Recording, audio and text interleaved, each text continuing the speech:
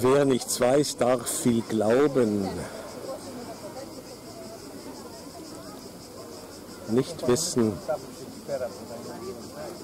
oder Wissen des Unwissbaren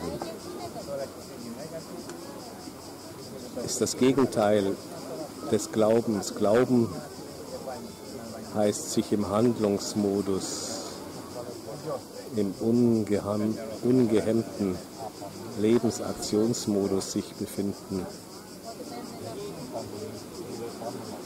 Das Wissen, dass das Bewusstsein nicht der Erkenntnis seiner selbst von Existenz und Tod, sondern nur in kurzen Aufklaffungsmomenten dient.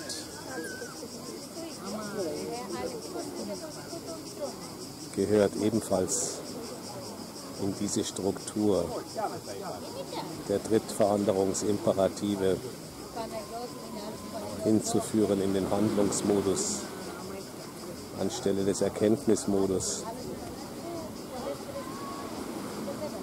Heute ein Gespräch gehabt über die Lust der Erkenntnis, die Denklust, die Erkenntnislust eines Aristoteles zum Beispiel.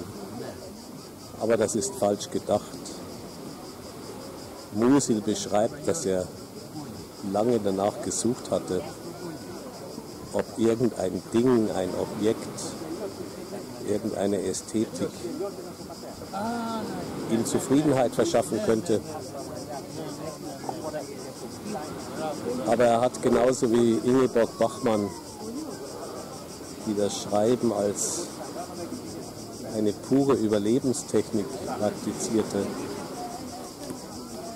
40 Jahre auf einem Schemel gehockt, immer auf der Suche nach diesem puren, reinen Objekt, das verloren gegangen ist und das allein Befriedigung verschaffen hätte können. À la recherche du chose perdue.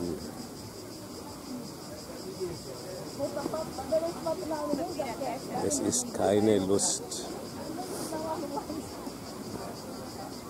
zu schreiben, siehe Marguerite Duras.